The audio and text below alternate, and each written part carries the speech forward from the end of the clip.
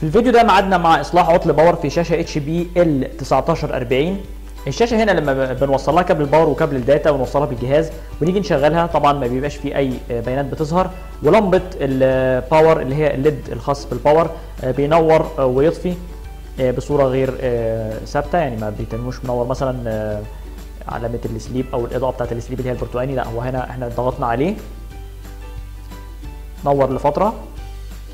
وبعدين بدأ ينور ويطفي. زي ما واضح قدامنا بيعمل زي blinking كده أو بي مش مستقر يعني حتى مش منور مثلا وعامل علامة ال sleep اللي هي اللي لونها برتقاني معناها إن الشاشة مش جايبة data فده اشتباه طبعا ممكن بيبقى في IC أو ترانزستور في مشكلة. أو أي مكون تاني إحنا هنفتح طبعا الشاشة ونشوف الدوائر اللي موجودة جواها أو ال board اللي موجودة جواها ونبدأ عملية الفحص. واحيانا الأعطال اللي زي دي ممكن تبقى مكثفات يعني الأسباب كتير. حتى لو كان العرض واحد يعني لو شاشة جاية لك مثلا قطع power ممكن تكون ال EEPROM فيه مشكلة اللي هو ملف ال IC بتاع ال BIOS وممكن تكون مكثفات ممكن تكون ترانزستور ممكن دايود يعني ممكن فيوز. فالعرض ممكن يبقى واحد إنما الأسباب بتبقى كتير.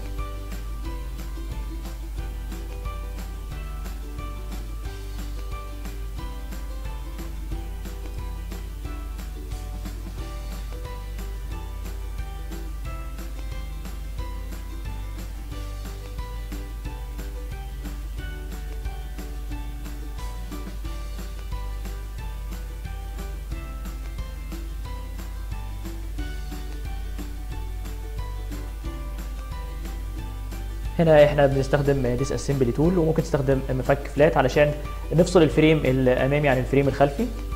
بعد طبعا ما فكينا القاعدة.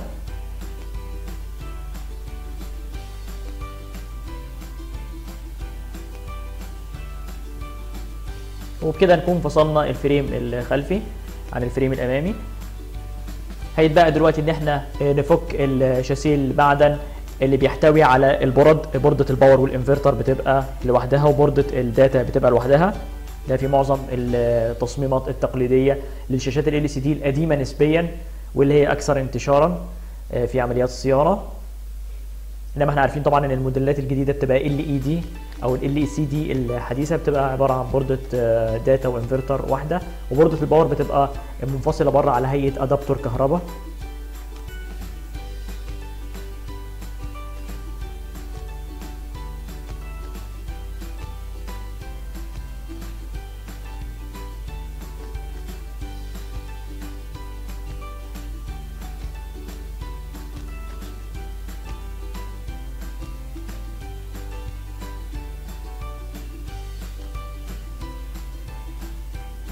هنا واضح قدامنا طبعا البورده اللي لونها أخضر دي بورده ال data أو ال AD board اللي هي analog to digital board والبورده اللي لونها أصفر غامق على اليسار دي بورده ال power وال inverter. البورده اللي فيها تغذية ال power ودايرة ال power وال inverter اللي هي دايرة الضغط العالي اللي بتغذي لمبات الإضاءة.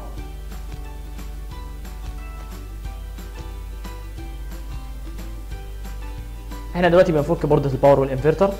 لأن غالبا الاشتباه بيبقى فيها في معظم أعطال ال power.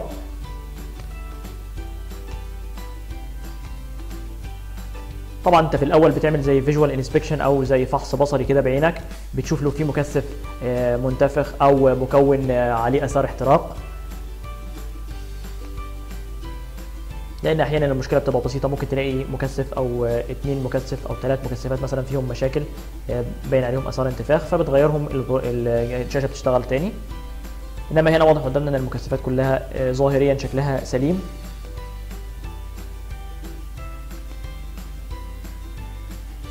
هنبدأ في الأول نتتبع فروق الجهد الرئيسية على بوردة ال power. طبعا إحنا عارفين النقط الرئيسية اول حاجة ال bridge rectifier اللي هو الأربع ديودات اللي بيبقوا موجودين في package واحدة. بتحول التيار المتردد لتيار مستمر. بنقيس عليها فرق الجهد على ال pin تين اللي في النص. يطلع لنا المفروض فرق جهد آه، لتيار AC اللي هو متردد يكون آه، تيار الدخل بالظبط يعني 220 فولت. وبعدين على ال filter capacitor بنظبط وضع آه، جهاز القياس على ال DC volt اللي هو التيار المستمر. والمفروض يطلع لنا قيمة حوالي 300 فولت DC وبعدين بنطمن على IC ال power على الدخل بتاعه والخارج بتاعه. دي تعتبر المراحل الرئيسية لقياس فروق الجهد على بوردة ال power.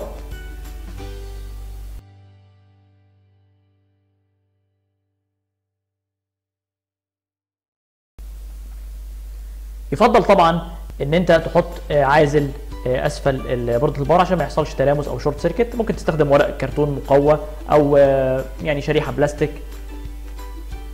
بدل ما تحط البورده على الصاج مباشرة فممكن أي جزء خاص بمكون إلكتروني يتلامس فيحصل مشكلة. هنا إحنا ملاحظين على مدخل ال power ممكن زي شرخ بسيط آه، بنسميها dry joint اللي هي مثلا نقطة جافه بيبقى القصدير آه، أو نقطة اللحام باين إن هي آه، محتاجة تتزود أو بيبقى في زي هبوط في المنتصف كده وخط حوالين آه، ال pin اللي خاصة بالمكون. فده من الأعطال الشائعة جدا برضو في الشاشات ال LCD إن أنت بتبقى محتاج تعيد لحام على كذا نقطة لحام. يعني هنا ده مجرد اشتباه. فقلنا نلحم الأول. مش هتكلفنا حاجة قبل ما نبدأ. قياسات عشان نطمن إن آه، عمليه اللي هي آه، إن لمبة ب- لمبة ال power اللي موجودة في الشاشة بتنور وتطفي ما تكونش بسبب آه، مكون مثلا مش ملحوم كويس أو في آه، كراك أو شرخ أو نقطة اللحام بتاعته عايزة تتزود. فبتشوف النقط الرئيسية آه، للمكونات اللي محتاجة يتعاد عليها الحام في دايرة الباور وتبدأ تلحم تعدي عليها بالمكوى بس بتزودها اسدير عشان تطمن إن نقطة اللحام مظبوطة. أحيانا بتيجي أعطال على فكرة يعني ممكن يجي لك عطل إن في مكون أو اتنين مكون إلكتروني آه، نقط اللحام بتاعتهم فيها مشاكل في شروخ أو كده وتعيد عليهم لحام والبورده تشتغل تمام معاك بيبقى هو ده العطل أو هو ده اللي مسبب العطل. واحيانا بيبقى مكون آه، إلكتروني تالف يعني مش شرط يكون إعادة لحام. بعد ما عملنا عملية إعادة لحام على مدخل الباور وعلى بعض المكونات اللي موجودة اللي إحنا مشتبهين إن نقط اللحام بتاعتها تكون محتاجة آه، تتزود.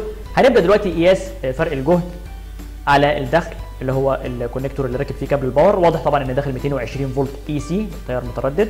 وبعدين على ال pin تين اللي في المنتصف في ال bridge rectifier اللي هو الأربع ديودات برضو AC واضح قدامي 220 فولت معناها إن فرق الجهد ال AC وصل لحد هنا. وبعدين دلوقتي هروح على ال filter capacitor بس بظبط على ال DC volt. وابدأ اقيس المفروض بيطلع لي تقريبا 300 فولت DC. معناها كده إن دايرة ال power شغالة مظبوط من أول المدخل ال power مرورا بال bridge وبعدين بال filter capacitor واخد فرق جهد مظبوط. هبدأ دلوقتي أحط الطرف الأسود على السالب الطرف السالب اللي موجود في المكثف وده بنسميه hot ground وبعدين الطرف الأحمر على الطرف ال VCC اللي هو بيغذي IC ال power. واضح هنا إن واصل له فرق جهد تغذية. هبدأ دلوقتي أقيس على الطرف اللي بيخرج منه آه، تيار ليه فرق اللي هو موجة كهربائية عشان تشغل ترانزستور. واضح طبعا إن مفيش حاجة بتخرج بالملي فولت كله وأرقام عمالة آه، تطلع وتنزل آه، مفيش حاجة ثابتة. فمعنى كده إن ال IC مش مخرج موجة كهربيه تشغل ترانزستور ال MOSFET أو تشغل بوابة ترانزستور ال MOSFET اللي موجود في الدايرة.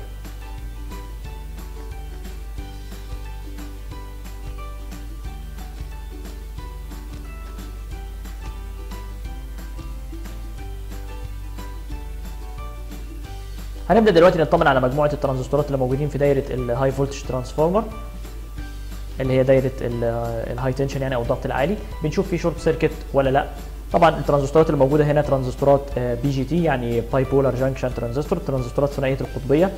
واضح إن في حاجات فيها short circuit فيفضل إن إحنا نطلعهم طبعا نفكهم من الدايرة ونقيسهم آه، خارجيا نقيسهم بره الدايرة عشان نطمن إن الترانزستورات دي سليمة. لأن ممكن يديك short circuit على الدايرة لوجود مثلا مك... يعني مكون إلكتروني مرتبط بيه. بيبقى زي قياس كاذب. آه، مهم جدا إن أنا آه، لما أقيس ترانزستورات علشان أ check عليها مظبوط أو أ test عليها مظبوط أفكها آه، من الدايرة وأبدأ أقيسها خارج الدايرة.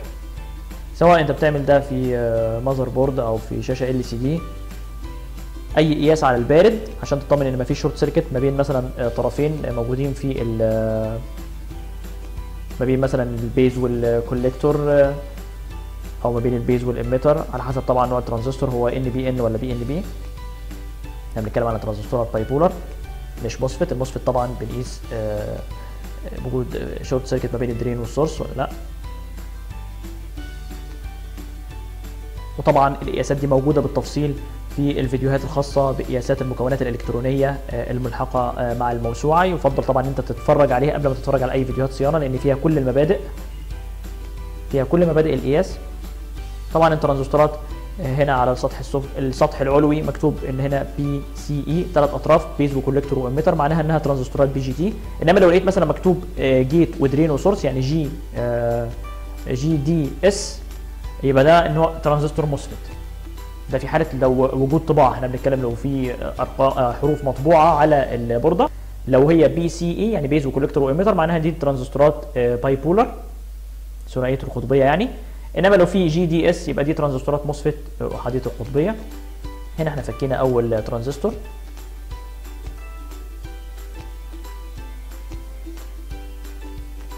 يعني إحنا بنبدأ نفك الترانزستورات المشتبه فيها اللي هي بتدي short circuit علشان نقيسها بره ونطمن على سلامتها. لأن القياس على ال boardة ممكن يكون آه، مش دقيق. لارتباط الترانزستورات دي بمكونات إلكترونية آه، في الدايرة. هنا الترانزستورات طبعا هنوريكم الموديل الخاص بيهم. هو C 5707 ترانزستور مشهور جدا في شاشات LCD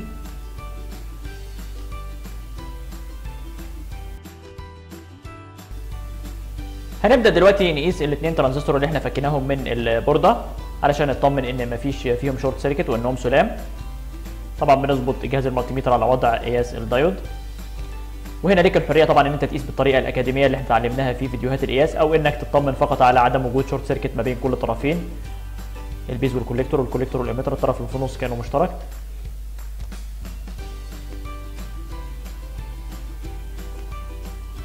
هنا طبعا واضح إن عندي short circuit ما بين ال base وال collector معناها إن الترانزستور ده تالف.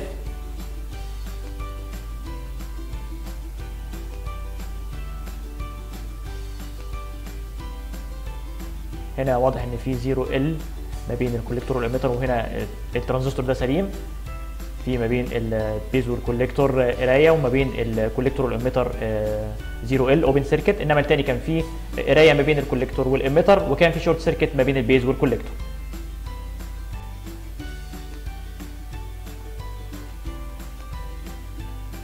هنبدأ دلوقتي نركب الترانزستور الجديد اللي جبناه مكان الترانزستور التالف. وطبعا إحنا معانا ترانزستور آه، سليم.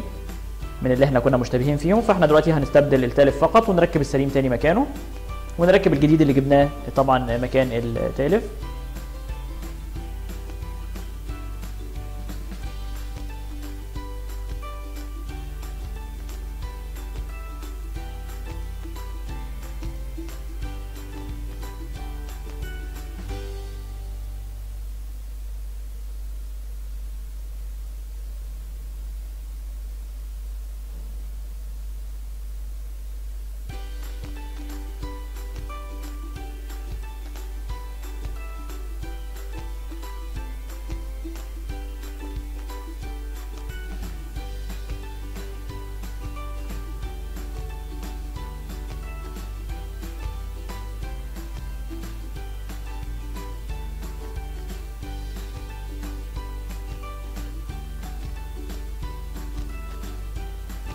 الترانزستور الجديد طبعا بيبقى جاي أطرافه طويلة فيجب إن أنت تقصها بقصافة بعد ما تخلص عملية اللحام. لأن لو سبتها بالشكل ده طبعا هيحصل تلامس ما بين الاطراف وبعضها لأنهم هيبقوا متوصلين على الشاسيه المعدن. مهم جدا بعد ما تخلص ما تنساش إن أنت آه، تقص الأطراف الزيادة دي بالقصافة. زي ما واضح قدامنا إحنا بالفعل بنقص الأطراف الزايدة بعد ما خلصنا عملية لحام ال IC الجديد الترانزستور أقصد الجديد.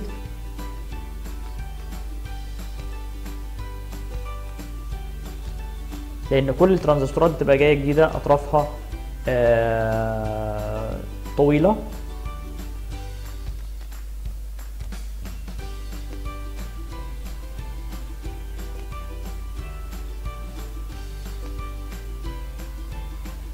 هنبدأ دلوقتي طبعا نركب ال boardة في مكانها ونقيس فرق الجهد على آه، ال pin اللي بتخرج الموجة الكهربية أو التيار الكهربي آه، علشان تشغل ترانزستور آه، MOSFET في IC ال power إحنا لما قسنا في الأول كانت بتطلع تقريبا صفر بتطلع بالملي فولت معناها إن مفيش خارج أصلا. وكان الاشتباه يا إما في IC ال power إن هو يكون تالف بياخد فولت وما بيخرجش. أو في آه، مكون من المكونات الأخرى يكون في short circuit زي الترانزستورات وبالفعل لقينا ترانزستور C 5707 كان في مشكلة كان في short circuit واستبدلناه بواحد تاني. فهنشوف دلوقتي آه، هل ال- العطل اتصلح ولا لا أو ال IC بدأ يخرج آه، آه، فرق جهد لتيار آه، بيروح ي drive أو يشغل آه، ترانزستور MOSFET أو بوابة ترانزستور MOSFET ولا لا.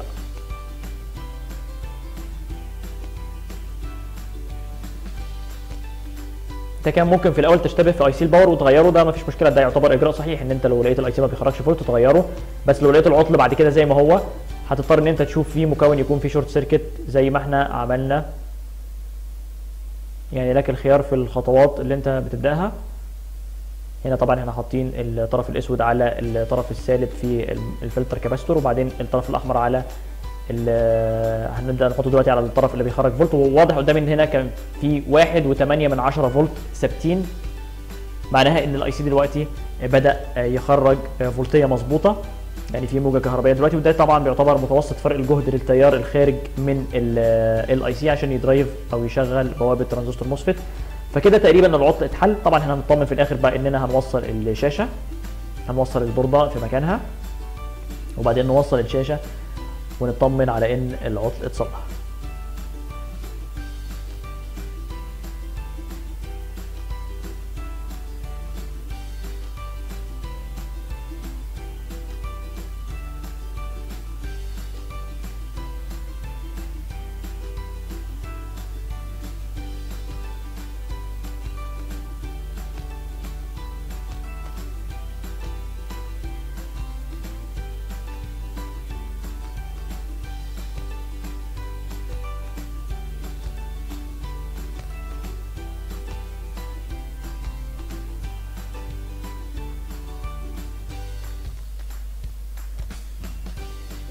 بعد ربط بوردة ال power في مكانها هنبدأ نوصل الكابلات. طبعا توصيل مبدئي من غير ما نوصل إن نقفل ال cover ال- الخارجي اللي هو الخلفي عشان نطمن إن الشاشة شغالة. وبالفعل الشاشة إحنا موصلينها بجهاز كمبيوتر بيستخدم لل test وهو داخل على نظام التشغيل فاول ما وصلنا كابل ال data وكابل ال power الشاشة فعلا آه، شغالة. ما بقاش فيها العطل القديم إن كابل ال- ال- ال press أو ال LED بتاع ال power بينور ويطفي والشاشه ما بيظهرش عليها بيانات ويعتبر كان عطل power وبكده يكون العطل اتصلح وكان بسبب آه، تلف آه، ترانزستور C 5707